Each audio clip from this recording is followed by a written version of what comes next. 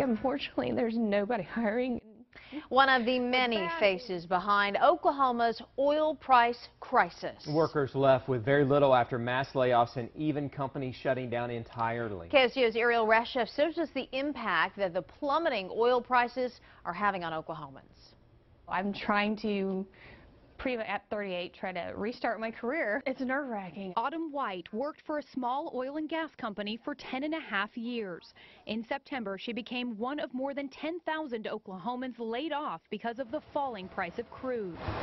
We were told the next day was our last day. Whenever you're the prime income for your family, it's, it's a big shock. both emotionally, financially. What has this meant for you and your husband, for your family? Um, it means watching every dime that goes out. From a steady job as assistant geologist to clipping coupons.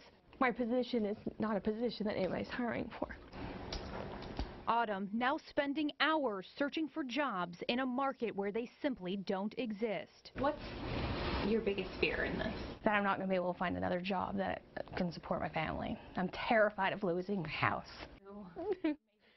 Smaller companies and contractors hit hardest by low oil prices, but the state's biggest corporations feeling a major pinch. Chesapeake letting go of 750 workers after its stock prices fell more than 20% in one year. Devon reporting a third quarter loss of $3.5 billion.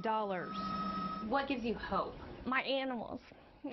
my dogs, my two dogs. Like so many Oklahomans, Autumn holding on to what's important and holding out hope that the oil market turns around. Ariel Reshef, KOCO, 5 News.